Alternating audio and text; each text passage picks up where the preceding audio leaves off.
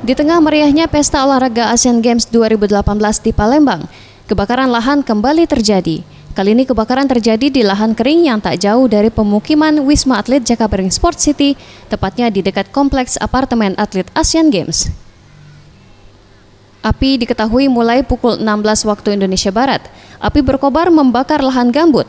Empat unit helikopter waterbombing BPBD Sumatera Selatan terlihat warawiri di atas lahan terbakar untuk membantu pemadaman. Pemadaman api juga melibatkan 10 unit mobil damkar milik Pemkot Palembang dan Provinsi Sumsel. Ratusan personil gabungan TNI, Polri, Damkar, dan BPBD juga turun tangan memadamkan api. Gubernur Sumsel Alex Nurdin yang sedang memantau perhelatan Asian Games di Jakabaring Sport City langsung memantau perkembangan para satgas yang berjibaku memadamkan api.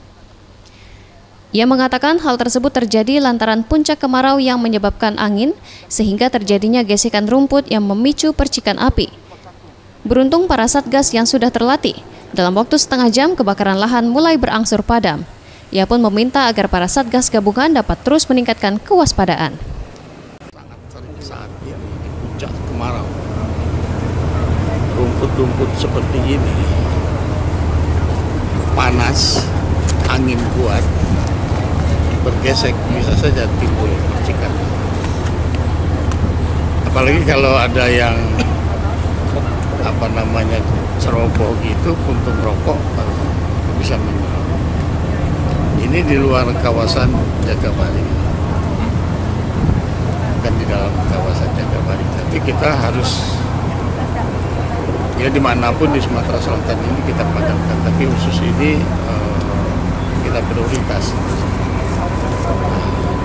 dalam waktu 15 menit regu pemadam itu sudah mulai kerja bukan datang. Sudah mulai kerja satu heli tambah satu heli lagi dua heli.